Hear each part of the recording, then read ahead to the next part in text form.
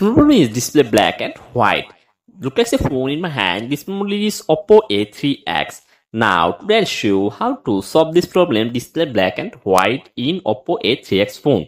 If your phone display black and white problem in Oppo A3X phone, for this first you have to find the option called settings.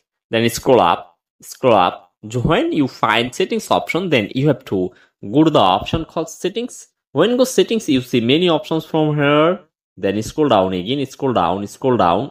You can see an option called scroll down scroll down digital well-being and parental control. Then you have to click on this option. And when you click on this option you can see an option called again wait few seconds loading. When loading complete you can scroll down you can see an option called bedtime mode. Click on bedtime mode. When you click on it bedtime mode you can see an option called turn off for now. You just click on this option called turn off for now and click on back and solve your phone problem display black and white. And solve your problem display black and white problem in oppo a3x phone. So if you want to like this video please subscribe my channel